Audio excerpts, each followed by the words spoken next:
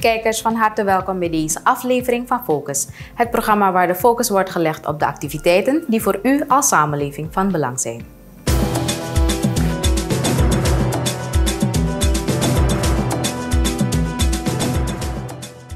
Vandaag in Focus. COVID-19 maatregelen verder aangescherpt. President Santoki opent kunstgrasveld jeugdcorrectiecentrum. Handhaving COVID-19 maatregelen vraagt om collectieve inspanning. BOG-leiding gaat in op huidige COVID-19 ontwikkelingen. En regering buigt zich met entertainmentsector over knelpunten.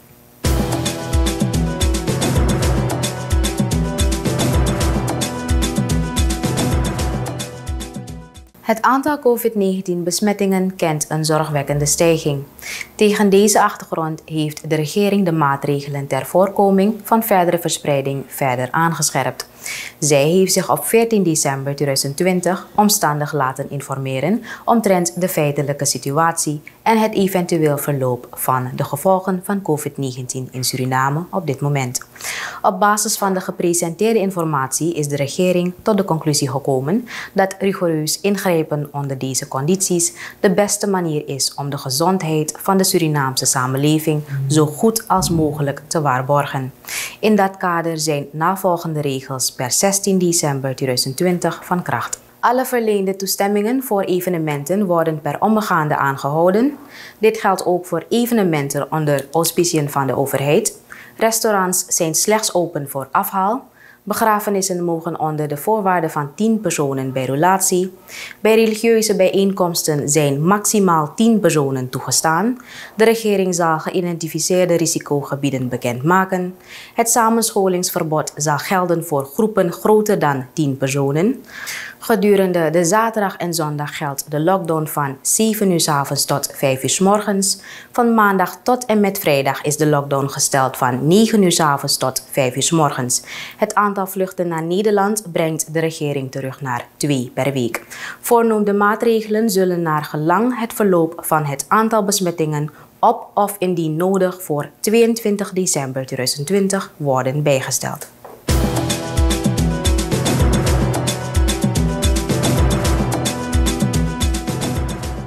President Chandrika Prasad Santokhi heeft op het terrein van het Jeugdcorrectiecentrum, JCC, een kunstgrasveld geopend.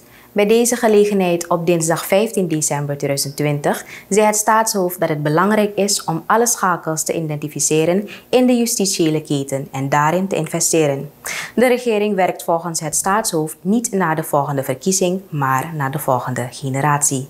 De president heeft in 2009 als toenmalige minister van Justitie en Politie de eerste steenlegging verricht voor de bouw van het Jeugdcorrectiecentrum.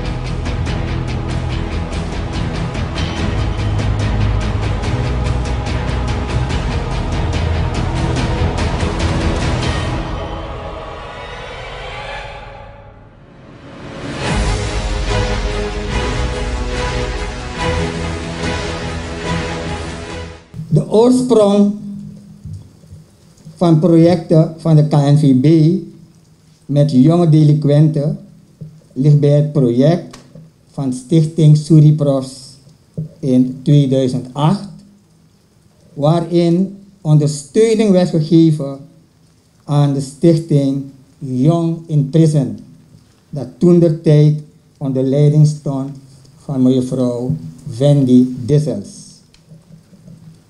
Suriprofs ondersteunde met materiaal voor sport in de gevangenis en door clinics met de jonge gedetineerden als Suriprofs in Suriname waren. Zo hebben Suriprof-spelers als Aaron Winter, Stanley Menso regelmatig gesport met de jeugd hier in detentie. Daarbij werd ons steeds duidelijk dat de jongeren in een niet respectabele accommodatie zaten en dat sport voor hen belangrijk was om energie kwijt te raken en om te wennen aan het samenwerken met anderen in sportverband. Ik bedank het korps ambtenaren van wie ik de reorganisatie mag leiden. En dat wij deskundig PA's hebben die trekkers zijn geweest, die subaannemers zijn geweest zonder betaald te worden en de gedetineerden. Die hebben hier gewerkt. Wij danken de poorten, het stond helemaal hier zo, je kon zo naar binnen lopen. Vandaar dat de eerste keer hier zo de zaak gekaapt was. Ik ga er niet op in, die hebben we teruggenomen, want het is voor de kinderen. Maar met weinig geld wat op het budget was, hebben we toch ervoor gezorgd dat geleidelijk aan toch wel met bijdragen we gerealiseerd hebben. En wat hebben we gedaan? De twee eerste gebouwen, dat zijn deze twee, die hebben we helemaal gerenoveerd en daar zit de school in. Dus dat betekent dat die kinderen die in Santo Boma zitten, dat we ze graag hier willen hebben, want hier is hun plek. Hier horen ze, niet in die grote gevangenis. En dat deze kinderen, waar ik erg blij om ben dat we gerealiseerd hebben, met dank aan alle donoren. UNICEF heeft hier een mediatheek opgezet. Er is een vrijwilliger die ze les geeft. Het onderwijsprogramma is een, een regulier onderwijsprogramma met het ministerie van Onderwijs. Want wat wij niet toestaan, is dat er mensen zijn die onze kinderen gebruiken als, uh, uh, ja, om zichzelf te laten doen blijken. Nee, ze zijn niet zielig.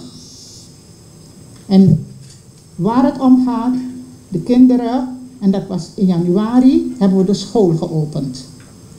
We hebben school geopend, toiletten, de poorten zijn gemaakt, geleverd door een aantal bedrijven hier in Suriname.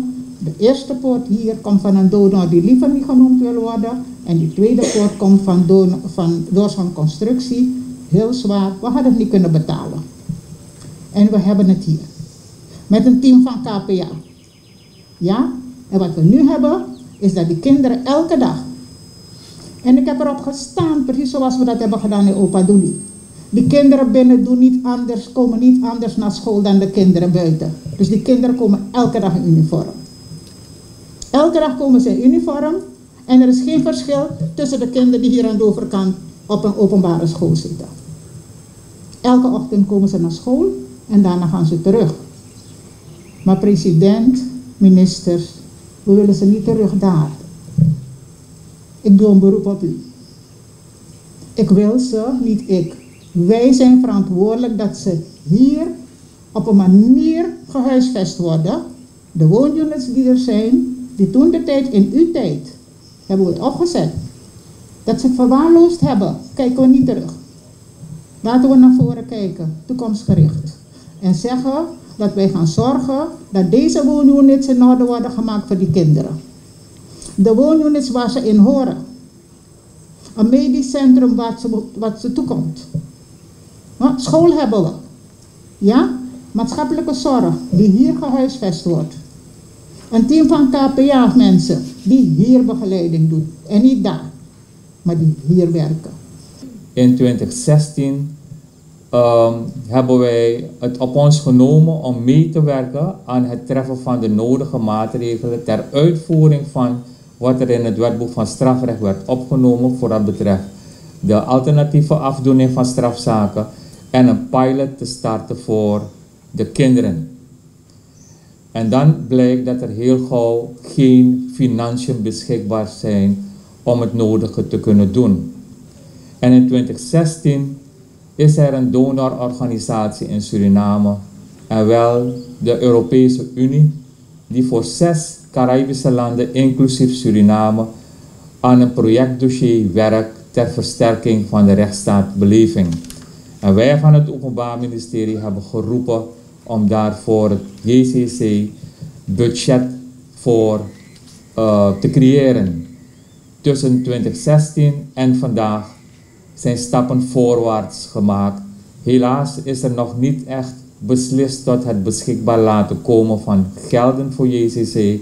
Maar het is in de pijplijn en er is licht aan het eind van de tunnel. We hopen heel binnenkort te weten te komen welk budget besteed kan worden voor JCC op het stuk van het ontwikkelen van curriculum om naast het regulier onderwijs ook nog curricula klaar te maken voor onder andere, ik noem er maar een paar, expressievakken, uh, uh, sport en spel, om er een paar te noemen. En zo zijn er nog een aantal deelgebieden met het doel, met het doel om de pupillen die hier binnenkomen zoveel meer kennis en vaardigheden bij te brengen, opdat wanneer de dag daar staat dat zij van hier vertrekken, zij met veel meer kennis van zaken, veel meer inzichten en vaardigheden kunnen vertrekken om niet nog eens terug te komen in de armen van politie en justitie.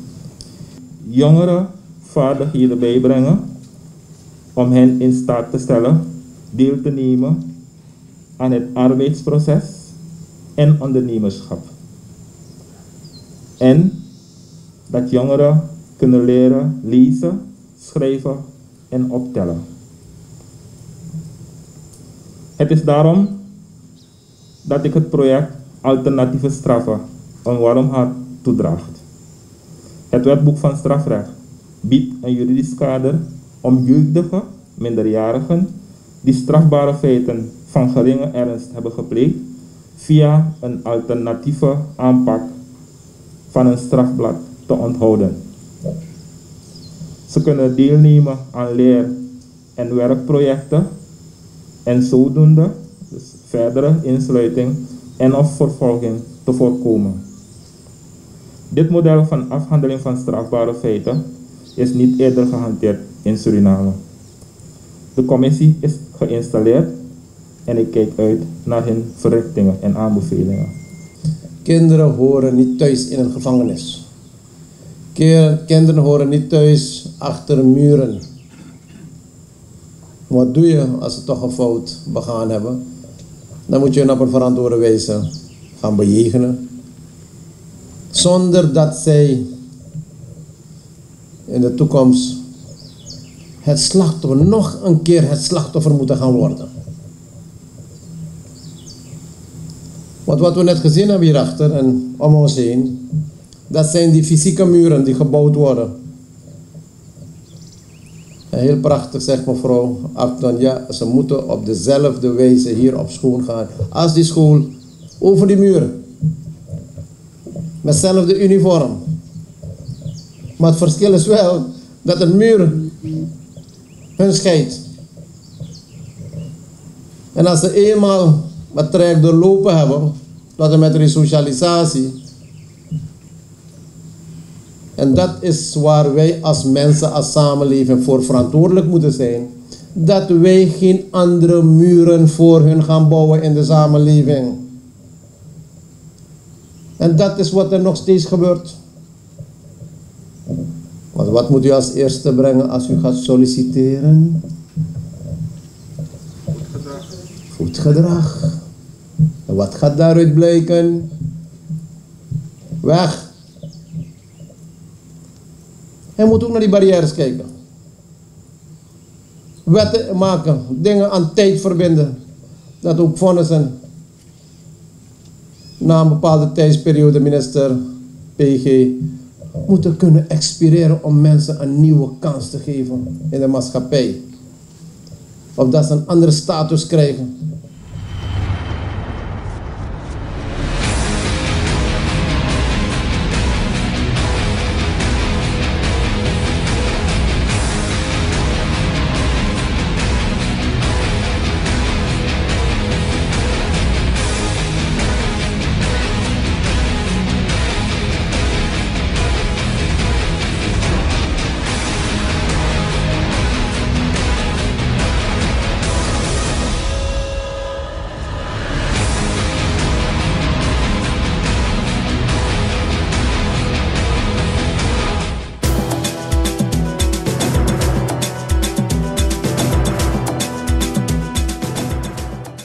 Handhaving van de COVID-19-maatregelen vraagt om een collectieve inspanning in het belang van onze eigen veiligheid.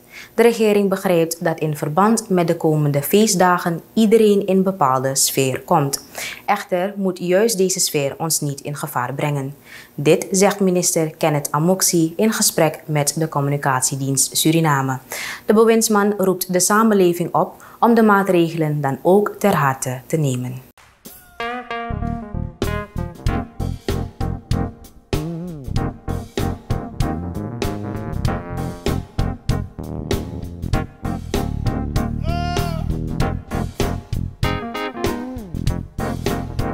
Hebben daar net vergaderd met uh, mijn collega's uh, van uh, Volksgezondheid, Defensie, TCT.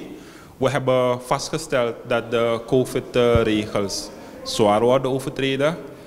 er is een toename van COVID-positieven. in verband hiermee is het verwachtbaar dat we de maatregelen gaan aanscherpen. zeker de handhaving. En net als wat ik eerder heb aangegeven, is dat de shift uh, wordt verschoven vanuit de straatovertredingen naar restaurants, bars en dergelijke. We gaan de maatregelen verscherpen. Uh, in de komende dagen zal uh, waarschijnlijk de minister van Volksgezondheid een bekendmaking doen uitgaan die dit staaft. Um, kunt u oproep doen van wat al, men allemaal moet doen om ook um, de regering te helpen om dit te handhaven? Ja, we hebben altijd aangegeven als regering dat uh, de handhaving een collectieve bijdrage is, een collectieve inspanning. Het gaat erom dat we mensen niet willen duperen. Het gaat om onze veiligheid, de algemene veiligheid. We begrijpen dat in verband met de komende feestdagen, een ieder, weet je, je, je bent in een andere sfeer. Maar we moeten niet uit het oog verliezen dat juist deze sfeer ons in de gevarenzone brengt. Dus ik van, van hieruit roep ik de mensen op de COVID-maatregelen sterk ter harte te nemen, ze, zich eraan te houden en wij van de handhaving, wij zullen er strakker tegenaan gaan de komende dagen. En hoe staat het met uh, de grenzen van Suriname? Uh, ja, de grenzen aan de westzijde was er, uh, we waren bezig met de onderhandeling met, de, met Guyana. Om open, dat is aangehouden. Uh, ten aanzien van het oosten, ook daar gaan we met de Fransen praten. Omdat de instroom, alhoewel de grens dicht is, zien we wel dat mensen uh, weet je, frequent oversteken. En dit brengt ook gevaar, omdat het ongecontroleerd is. Dus ook hier gaan we maatregelen treffen. Het zuiden, dat is met Brazilië, dat is een open grens. Dus daar hebben we niet zoveel controle daarop. Maar we hebben wel uh, grensposten. Ook daar gaan we de, de controle strakker aanhalen. De minister van Volksgezondheid had aangehaald dat er een cluster is van Brazilianen in Paramaribo Noord. Um, zijn er ook afspraken gemaakt ten aanzien van uh, hoe die gebieden daar te beschermen, waar er veel Brazilianen zijn? Ja, wat we gaan doen is dat we de controle, de handhaving op bepaalde focusgebieden gaan leggen. Uh, we hebben genoemd uh, toertannen, uh, plekken als Villa Brasil in het binnenland. Het zijn plekken waar we het vermoeden hebben dat de zaken niet richtig verlopen. We, we, gaan ook kijken naar de mensen die invliegen, die toeristen die komen. We gaan kijken als de quarantaine vereisten goed wordt nageleefd.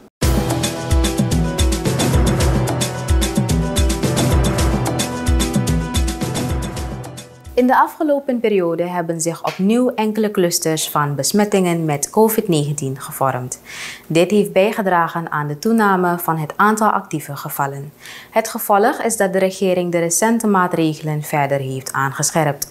Het Bureau voor de Openbare Gezondheidszorg is als een van de volksgezondheidsdiensten belast met het helpen beheersen van COVID-19. De communicatiedienst Suriname sprak waarnemend directeur Rajesh Ori. Als we kijken naar de cijfers, we hebben een paar weken heel weinig cases gehad. Maar vanaf zaterdag hebben we gezien dat we een flinke toename hebben gehad. Zaterdag met 10 positieve. En gisteren met uh, 22. Eigenlijk in de avond waren er nog 4, waren 26 positieve. Dat is wel een behoorlijke sprong naar positieve. En dat is een alarmerende situatie. De meeste cases zijn van Paramaribo. Als we kijken binnen Paramaribo is Paramaribo Noord grootste risico. Als we, hebben een heatmap. Uh, ik denk dat je dat ook met jullie gedeeld kan worden. Jullie dat ook delen? Dan gaat u zelf zien, het is uh, Paramaribo Noord van waar de meeste cases komen. Op dit moment, als we kijken naar Brazilië, Frans-Guyana en Guyana, uh, dan ga je kijken naar de situatie van COVID in die landen en het mensenverkeer. Dan is Frans-Guyana het hoogste risico, omdat er veel meer mensenverkeer is vanuit Frans-Guyana en er is een toename, eigenlijk een uh, grote toename van aantal positieve in Frans-Guyana op dit moment. De testmogelijkheden zijn hetzelfde, zoals in augustus, alleen hebben we een klein probleem nog in, de, in het weekend, waarbij een aantal polyklinieken niet werken. We zijn bezig om aan oplossing te werken. Als die niet willen werken, gaan we met een plan B komen, gaan we de andere polyklinieken activeren om te testen in het weekend. De sneltesten, als je bedoelt de antigene testen, die, uh, we hebben mensen al getraind. Bepaalde uh, instanties of uh, districten hebben al de beschikking over de antigene testen. Apura, uh, Nieuw-Nikeri, de medische zending, ook nog, we hebben een groep dat gaat over mobiele populaties. Dat zijn meer de mensen die op en neer bewegen, vooral te maken met goudvelden. Toch? Ze gaan waar het goud is. Die zijn al bezig te testen in de gebieden wat ze nu aandoen, waar de personen zijn met klachten, om ze te testen. De samenwerking met de medische zending is heel goed. We hebben altijd een heel goede samenwerking gehad met de medische zending. We hebben zelf missies gedaan samen met de medische zending naar het binnenland. En uh, wat, als we nu meldingen binnenkrijgen over en weer, als, worden wij gemeld en zij melden ons ook. Uh, als we kijken naar de EP-curve, dan ga je zien, dat is de EP-curve met de positivity rate. U gaat zien dat aan het eind is het uh, 18, zoveel procent. Dat wil zeggen van alle testen dat we hebben gedaan op de laatste dag, 18, zoveel procent positief. Dat is een hoog percentage. Dat is een hoog percentage met die verstande dat de WHO aangeeft, als je percentages hoog moet je meer testen. Het ligt aan de mensen. Het, niet iedereen die klachten heeft, wat we horen, wil niet komen testen. Men gaat ervan uit, dat duurt te lang, er zijn alle andere dingen. Dus we zijn, daarom zijn we bezig met de implementatie van de antigene testen, waarbij de persoon op locatie het resultaat kan krijgen. Misschien dat dat gaat maken dat er meer mensen komen testen. De status van Suriname, uh, ik kijk niet zoveel naar de kleuren. Ik kijk naar wat uh, de vier stadia van de WHO. Je hebt geen cases, je hebt sporadische cases, je hebt clusters. En of je hebt community transmission. Op dit moment wat wij zien is dat we eigenlijk te maken hebben met een paar kleine clusters. Het is uh, pas begonnen. Als dit zo doorblijft, dan gaan we wel onze status moeten veranderen. We hopen dat we binnen een week verandering zien, zodat we teruggaan naar aantal cases beneden de 10. Laten we hopen dat dat gebeurt, zodat we geen, uh, niemand wil lockdown hebben. Want uh, vooral met feestdagen, iedereen denkt van, mijn god, oud opnieuw, alles is nu verpest. Het ligt niet alleen aan ons, het ligt ook aan het gedrag van de mensen. Als, we, als ik kijk naar vorige week, het bleek alsof, ja, ieder had het erover, er is geen covid, men sprak over covid nog, hè.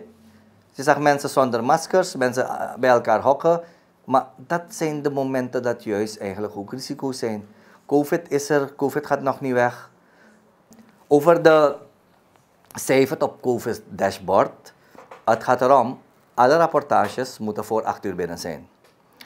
Maar wat gebeurt als, om een voorbeeld te geven, gisteren 22 personen positief. Die personen worden opgebracht als in totaal positieve. Maar die personen zijn nog niet opgenomen. Dus daar is er een delay, want in de avond zijn ze vervoerd naar Wanica. En dan pas ga je bij Wanica dan die positieve bijtellen. Maar op het dashboard ga je lezen dat die patiënten er niet zijn. Dan ga je zeggen, maar oké, okay, 22 positief, waar zijn die mensen gegaan? Maar pas als de mensen zijn opgenomen wordt vanuit Wanica ziekenhuis, het geüpdate, dus de volgende dag ga je het weer zien.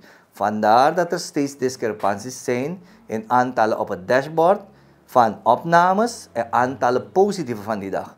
Omdat ze niet tegelijk worden gedaan. Je kan niet 22 personen halen niet zo direct 1, 2, 3 op. Want dat zijn mensen over Paramaribo ook en Wanica. En die moet je gaan ophalen en dat duurt wel een tijdje.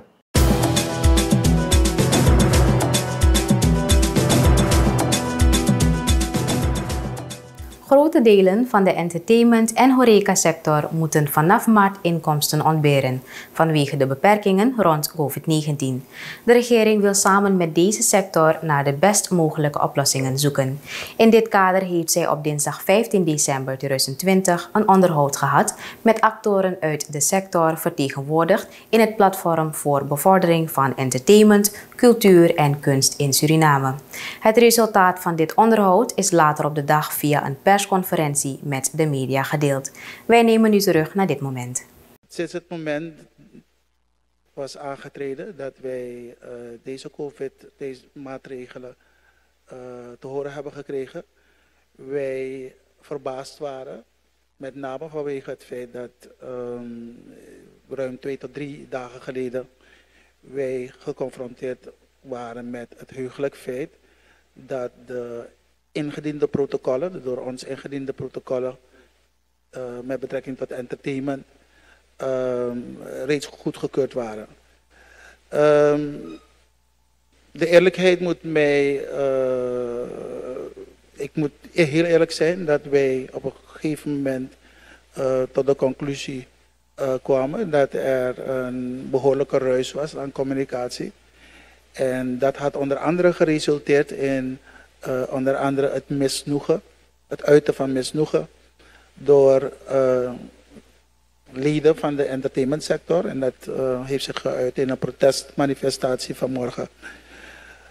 Um, en ik moet mij haasten om te, aan te geven dus dat um, daar, ik, hoewel ik daar niet zo happy mee uh, was, was het toch een best wel een uiting van uh, misnoegen uh, over de gang van zaken met betrekking tot, tot de entertainmentsector. Um, op basis daarvan um, hebben we een gesprek gehad met de mensen van het kabinet. En ik moet zeggen dus dat uh, dat gesprek vrij goed is verlopen. Um, en uh, ik heb ook uh, contact gemaakt, ik heb heel vaak contact gemaakt zelfs, met de minister van Volksgezondheid. En um, ik moet zeggen dus dat uit de net um, verkregen informatie, dat ik toch wel zeggen dus dat er best wel lucht in de tunnel is. Dat is wat ik er tot op dit moment van kan zeggen. Omdat we inmiddels weten dat COVID natuurlijk een landelijk probleem is. En vandaar dat uh, alle districtscommissarissen waren uitgenodigd om deze meeting bij te wonen. Dat georganiseerd is door een cluster van ministers. En deze clusters van ministers hebben gemeend om in deze fase waarin ons land zich nu thans bevindt. We zitten met een uh, verontrustende situatie. Dat wil zeggen, u heeft zelf gemerkt dat het aantal COVID-besmettingen toeneemt weer. Jammer genoeg. En zoals aangegeven tijdens de briefing, is dat alles te wijten aan het gedrag van ons Surinamers.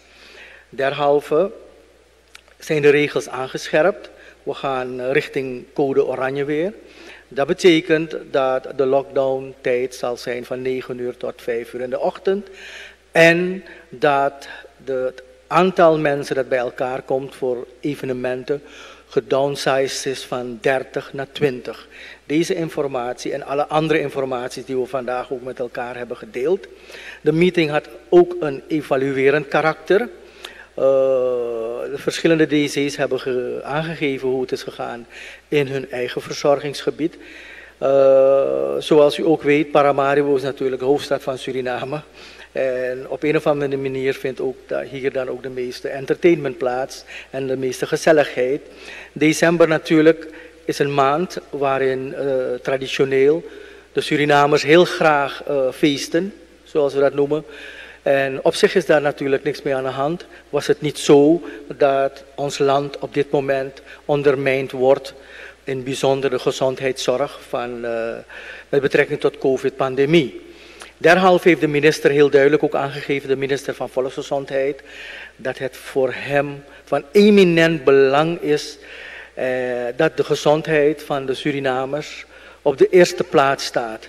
En daarin wil hij geen concessies doen. Ja, laat het heel duidelijk zijn, de minister zegt heel duidelijk, ook aan ons districtscommissarissen. Voert u alsjeblieft uh, patrouilles op, probeer nog creatiever te zijn. Uh, zet nog meer mensen in, dat betekent dat wij vanuit het uh, districtscommissariaat ook veel meer op straat zullen zijn met patrouilles. We zullen nog meer bestuursambtenaren in gaan zetten om in ieder geval die surveillances op te voeren, de mensen te motiveren vooral om hun gedrag te veranderen en het losbandig gedrag uh, voorlopig uh, daarmee te stoppen. Een uh, overlegstructuur, overlegmoment gehad met de diverse districtscommissarissen, um, het Nationaal Leger, de um, vertegenwoordigers van justitie en politie en de ministers van Defensie en mijn persoon. We hebben daarbij uh, van gedachten gewisseld. Er waren wat uh, instructies die wij vanuit de regering uh, moesten geven aan de districtscommissarissen, maar meer nog was het een heel goed overleg, omdat wij van de DC zelf hebben mogen vernemen welke praktische problemen zij ervaren. En waarbij er ook afspraken zijn gemaakt dat er een goede terugkoppeling moet zijn, zowel vanuit de operatie zelf, dus vanuit het veld waar de DC's persoonlijk bezig mee zijn, naar de autoriteiten, dus de regering toe. En omgekeerd dat dat ook op tijd vanuit de regering naar de DC's en op de juiste manier worden terug uh, gecommuniceerd. Dus we hebben goede afspraken gemaakt. We hebben de DC's gevraagd om zoveel mogelijk uh, en hierbij doe ik dan via de DC's ook een oproep en een beroep op de bestuursdienst en de bestuursambtenaren om zoveel als mogelijk de ondersteuning te bieden in deze periode. Met name um, ondersteuning aan het Quick Response Team. We hebben al gesteld gisteren dat er een clusterteam komt van inspectieautoriteiten. Dat is de arbeidsinspectie, milieuinspectie, het Nationaal Leger, uh, de politie en uh, de bestuursdienst. En dat wij gaan proberen, niet door sancties, maar door goede controle, mobiliseren van personen, motiveren van personen om zich te houden aan de maatregelen, toch die gedragsverandering te krijgen, dat wij niet verder hoeven te gaan tot sancties en andere uh, maatregelen strakker hoeven aan te trekken. Nogmaals, de communicatie naar de DC's zijn de belangrijkste werkarmen van de ministers in de districten van de regering in dit kader. Omdat wij vanuit Paramaribo um, het beleid bepalen. Maar in de, in de districten er ook veel praktische problemen zijn. Deze is ook met uh, heel veel uh, issues te kampen hebben. En die zijn ook vandaag met ons gedeeld. Dus wij nemen dit ook mee naar het clusterteam. En wij zullen elkaar ondersteunen, omdat uiteindelijk, zoals bekend is, de regering pas maatregelen en maatregelen strakker gaat uh, trekken als er een dreiging bestaat. En ik heb die dreiging goed verwoord. Ik heb de dreiging duidelijk aangegeven. En er is behoorlijk begrip. En ook wij zijn bereid vanuit de regering die communicatiestructuur via de DC's, maar ook de DC's via ons te stimuleren. We gaan met de samenleving moeten communiceren.